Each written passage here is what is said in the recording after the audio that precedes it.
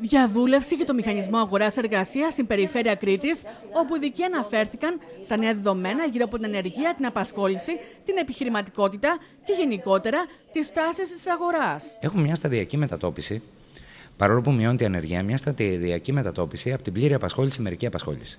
Στην εκπεριτροπή απασχόληση και στην εποχική απασχόληση. Μια πολύ σημαντική δουλειά που θα φτάσει μέχρι το 2022 και θα αναδεικνύει τις τάσεις που πρέπει να βρούμε για να βρίσκουν δουλειά οι, τα νέα παιδιά. Σύμφωνα με τους ειδικούς, η ανεργία στο νησί μας αγγίζει το 17,5% έναντι 18,5% του εθνικού μέσου όρου, ενώ η ανεργία στους νέους αγγίζει το 32,9% στο νησί μας έναντι 39,5% του εθνικού μέσου όρου. Στην Κρήτη τι έχουμε, έχουμε 45% των εργαζόμενων να είναι αυτοαπασχολούμενοι και οι υπόλοιποι να είναι ε, σε μορφή εξαρτημένης εργασίας. Από τα πολυπληθέστερα επαγγέλματα στην Κρήτη είναι οι πολιτές, ε, είναι οι εργαζόμενοι στις υπηρεσίες που σχετίζονται με τον τουρισμό, κυρίως καταλήμματος και εστίασης.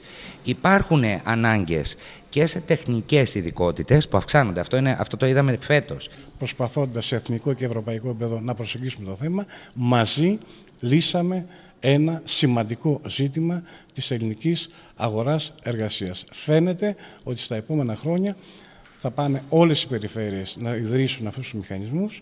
Ανησυχία ωστόσο προκαλεί το γεγονός ότι φέτος καταγράφεται αύξηση της επισφαλούς απασχόλησης στο νησί μας σε ποσοστό 5 έως 7% ενώ την ίδια ώρα σε υψηλά ποσοστά κυμαίνεται η μακροχρόνια ανεργία είναι περίπου η μισή.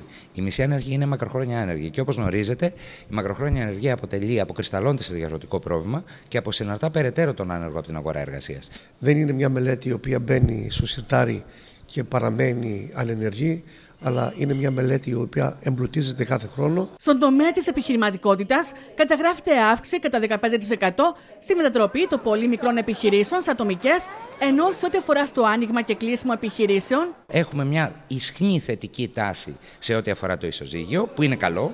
Φινιδίω αυξήθηκε κατά 15% ε, το ποσοστό των αμυγός ατομικών επιχειρήσεων. Και όλα αυτά στο πλαίσιο ενός καινοτόμου ερευνητικού έργου που υλοποιεί η Περιφέρεια Κρήτης και το Πανεπιστήμιο Κρήτης με στόχο τη διαμόρφωση πολιτικών απασχόλησης και επαγγελματικής κατάρτισης.